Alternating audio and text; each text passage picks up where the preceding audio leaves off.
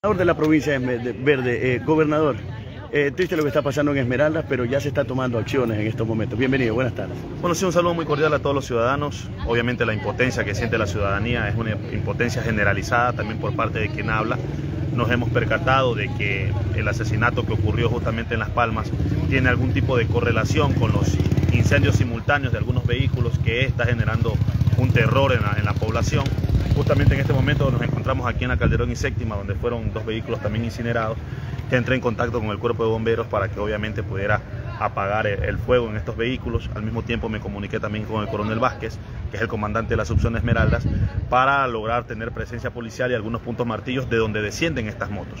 Por eso es la importancia que en los comités de seguridad ciudadana provincial esté también el municipio de Esmeraldas, porque es quien tiene control desvial, que nos va a permitir el cumplimiento de la ordenanza donde no puedan estar dos personas del mismo sexo, en este caso masculino, en una moto.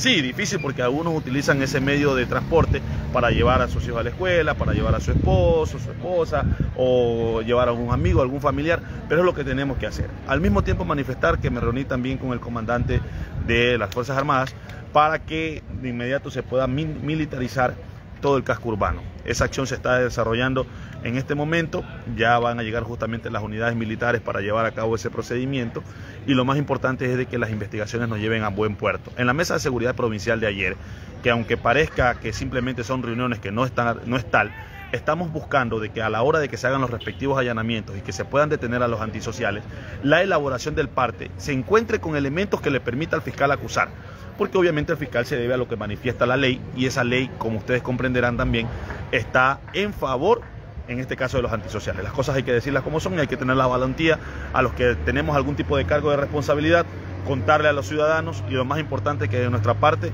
está el compromiso total. A veces nos llena de impotencia porque la prevención del delito es un tema complicado. No sabemos en qué momento, aquí mientras estamos conversando, del otro lado no se esté generando algún robo, no se esté generando algún tipo de extorsión o no se esté generando otro incendio de otro vehículo. Entonces para nosotros es fundamental más que todo que la ciudadanía pueda hacernos llegar cada tipo de alertas en el marco de nosotros poder atender de manera inmediata. Señor gobernador, en el tema específicamente del balneario de Las Palmas, que era un lugar de los más seguros de la provincia verde, ¿qué acciones se van a tomar en ese lugar? Pues estamos a la puerta de un feriado bastante largo en Esmeraldas.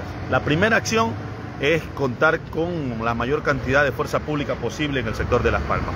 Tal como usted lo acaba de manifestar, este hecho lamentable obviamente genera pánico en la ciudadanía porque se suponía que en el imaginario colectivo, para todos los ciudadanos, el Parque eh, Las Palmas y todo el sector del de este balneario era el más seguro.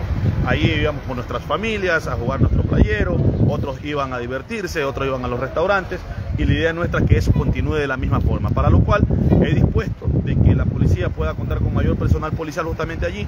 Estoy esperando la llamada del señor ministro del Interior, Juan Zapata, al cual en este momento se encuentra rendiendo una versión en fiscalía, me llamará nuevamente y ahí le solicitaré mayor cantidad de presencia policial, pero es importante de que todos asumamos nuestro rol en el marco de nuestras competencias y que no nos lavemos las manos ni mucho menos echemos culpa, pues no, sino asumir las responsabilidades que nos otorga la ley. Sí, bien, gracias señor gobernador. Gracias a la entrevista esta tarde con el señor gobernador, justamente él se encuentra donde están uno de los vehículos incinerados en esta tarde, acá eh, cercano al estadio Folker Anderson de la provincia verde, pues los moradores están bastante preocupados, alarmados por lo que sucedió. Ahí observan ustedes cómo está, está el vehículo tipo taxi de la cooperativa Homero López, está pues eh, prácticamente eh, incinerado, eh, no en su totalidad, pero sí se observa que está prácticamente bien perjudicado. El señor gobernador se encuentra en territorio, en el lugar pues está tratando pues de hablar con eh, los propietarios y también comunicándose con varias de las autoridades.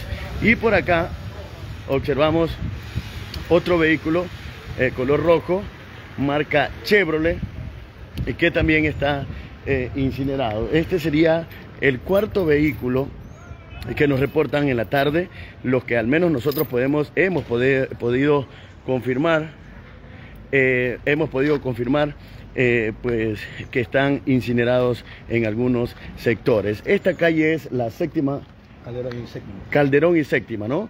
Calderón y séptima. Nos encontramos en la Calderón y séptima justamente en este eh, sitio, en este lugar pues en donde pues estos vehículos están prácticamente incinerados. No vamos a mencionar ni tampoco vamos a grabar la cara de las personas que se encuentran acá, pero eh, estamos con una persona muy conocida acá en Esmeraldas, doctor.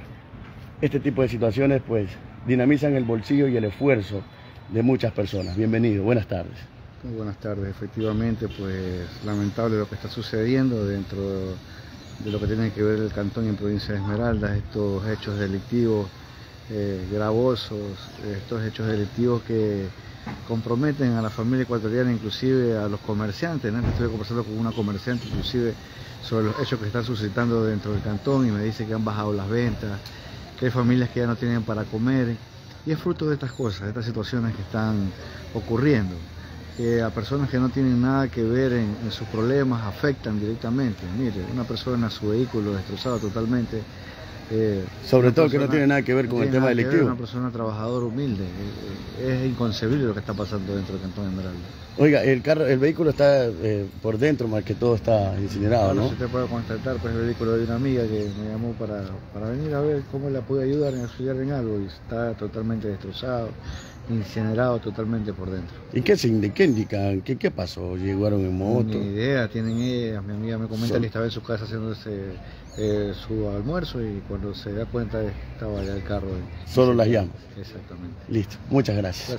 Gracias, ahí está la información. Amigos, estamos en la Calderón y Séptima. Aquí, aquí observan ustedes cómo está eh, la situación acá en territorio. Amigos, esta es la información que yo puedo generar a esta hora. Señora, buenas tardes. ¿Cómo está? Eh, desde acá, desde la calle Calderón, en donde pues varios, dos vehículos han sido reportados pues a esta hora de la tarde. Uno más en la Colón, Colón y San José Obrero y otro más en la Malecón, en la calle Malecón y Cañizares, ¿no? Eh, ahí cercano a la Fiscalía.